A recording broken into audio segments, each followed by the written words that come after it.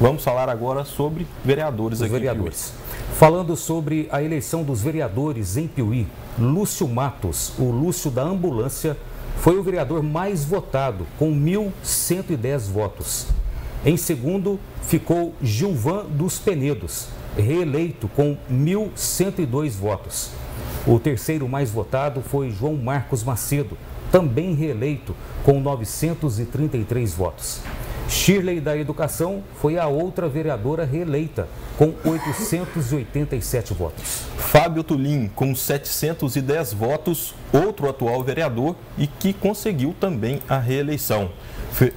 Fernando Detetive, que já foi vereador aqui em Piuí, ele conseguiu voltar ao cargo de vereador e, e, com a votação de 705 votos que ele obteve nas eleições de ontem. Sargento José Wellington, outro atual vereador que conseguiu se reeleger, teve 638 votos.